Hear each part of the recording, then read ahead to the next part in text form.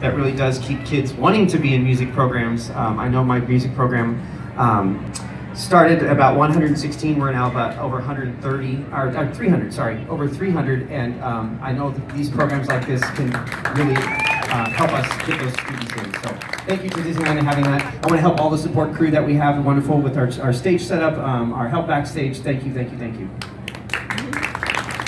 We're gonna play two more songs for you, um, and then we're gonna hit the park afterwards. They're probably all starving, so thanks for coming.